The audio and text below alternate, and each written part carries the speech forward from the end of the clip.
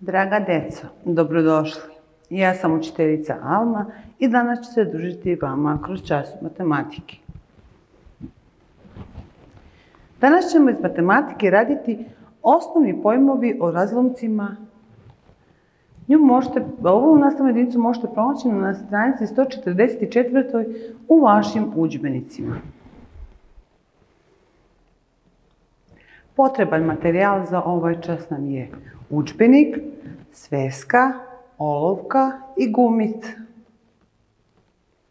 Ako smo se pripremili, da krenemo.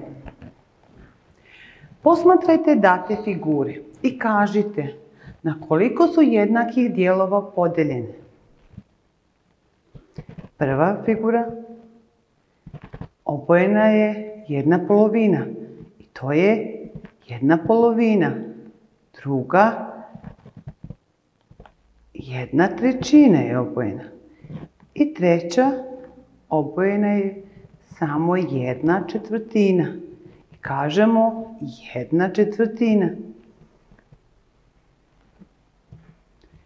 Brojevi jedna polovina, jedna trećina i jedna četvrtina nazivaju se razlomci.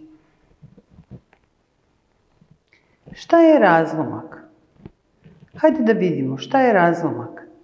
Razlomak je dio cijelog. Kako se zapisuje razlomak? Razlomak se zapisuje pomoću dva broja. Kako se zove broj ispod crte? Broj ispod crte zove se imenilac i označava na koliko smo jednakih dijelova podijelili jedno cijelo. Kako se zove broj iznad crte? Broj iznad crte zove se brojilac i označava koliko smo uzeli tih dijelova. Zapamti, kada zapisujemo razlomak, prvo pišemo razlomačku crtu, a zatim imenilac pa brojilac. Ovo je razlomačka crta. Ovo je imenilac. A ovo brojilac. Pa kažemo, prvo zapisujemo razlomačku crtu, zatim imenilac, pa brojilac. Kako se naziva broj koji je zaokružen? To je imenilac. Kako se naziva broj koji je zaokružen? Iznad crte. To je brojilac. A kako se naziva zaokružen broj koji predstavlja dio cijelog? Pa razlomak. Tako je. Ovo je onoliko dijelova koliko prikazuje razlomak.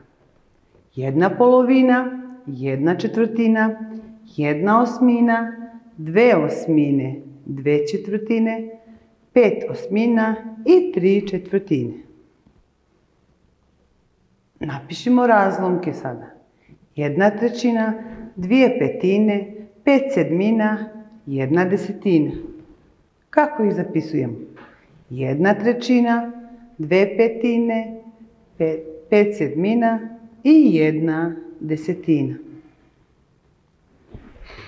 Za domaći zadatak u vašim udžbenicima na stranici 145. uradite sedmi i osmi zadatak. Hvala na pažnji, vidimo se na sljedećem času.